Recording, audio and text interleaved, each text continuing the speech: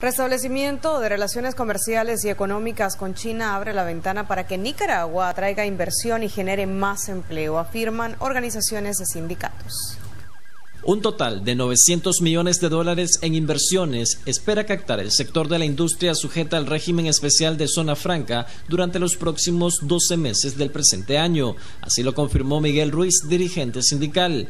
Una de ellas ya está instalada, generando 2.500 empleos y en el transcurso del año estas compañías se van a venir a incorporar y generar el empleo que tanto requiere eh, Nicaragua, pues para combatir la pobreza, para combatir, digamos, el desempleo y, y eso es positivo que lo estamos viendo los trabajadores y el movimiento sindical. Las empresas provenientes de la República Popular de China e incursionarían en los sectores de textil, maquila, agroexportador, así como el de construcción. Teixón se va a convertir en la fábrica, la fábrica más grande en tela y hilo, de no solo de Nicaragua, sino de la región centroamericana.